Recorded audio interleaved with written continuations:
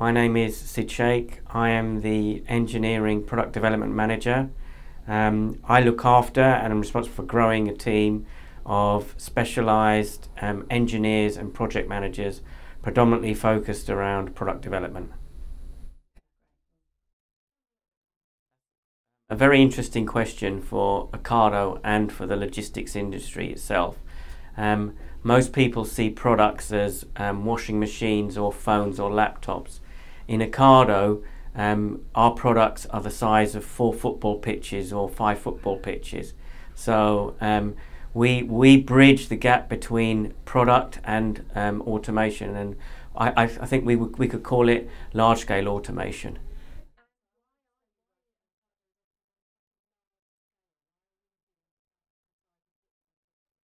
So um, Ocado's the, the world's largest online retailer um, and our model is to move away from um, the standard bricks and mortar um, buying grocery from a, from a store to large customer fulfillment centres.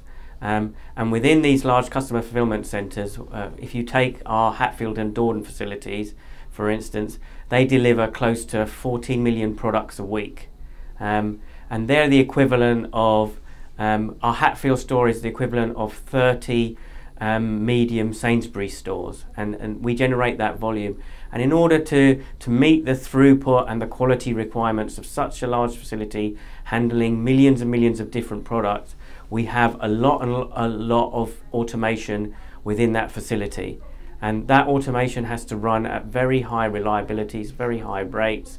Um, and that's the big surprise for a lot of people that are not aware of the logistics industry is the, the level, the scale and the complexity of, of automation within one of our facilities.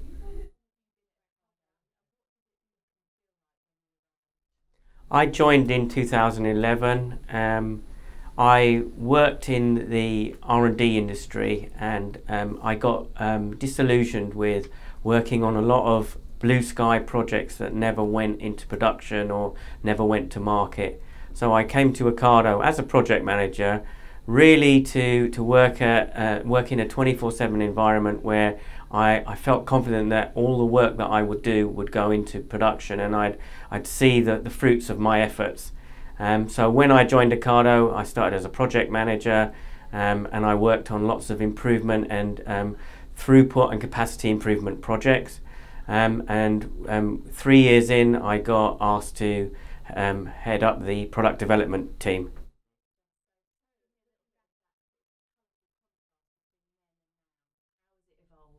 So when I joined, um, Ocado predominantly bought off-the-shelf equipment, um, improved it, optimized it, um, used it in a way that no one else in the industry uses it. Um, we, we, we like to use the term we sweat our assets, so we get everything out of our, our, our systems, and then that's all controlled by very clever, complex software which is developed, it's all bespoke and it's developed by our Ocado technology team.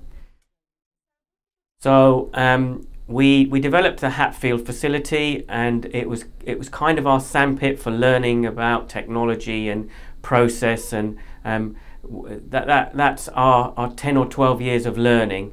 Um, that culminated in our Dordon facility, which is, um, which is considered the state of the art in the logistics industry. Um, but now we're working on the next, the next generation of technology, which we would consider the future of logistics.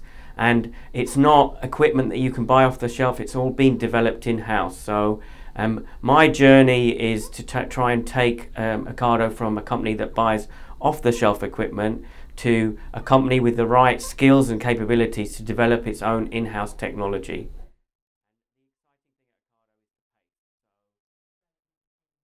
It's interesting that um, for when we talk about product, um, what's different at Ocado is the scale of our product, and you can you can um, put that word product in in inverted quotes if you like.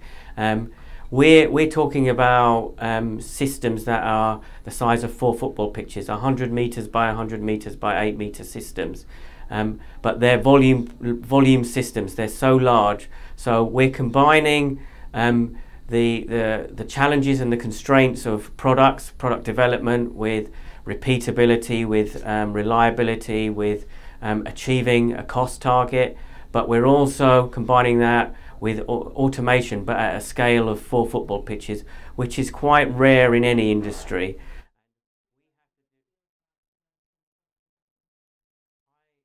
I believe that I've got a great team. Um, I'm, I'm, biased because I recruited most of them, but um, the business has, has, set us some big challenges, and the team always rise to those challenges. There's a great atmosphere. There's a great team atmosphere within the product development team, and um, as as we as we grow um, and, the, and we share our capabilities, there's a, a great learning um, culture within the team. So the opportunity for you to sit next to a safety expert or a liability expert and widen your scope of knowledge is great. And that, that builds quite a strong, close knit team. Um, and um, I'm very proud of what, what they delivered um, in, in the time that we delivered it. And um, I think that that is a, a great draw to this business.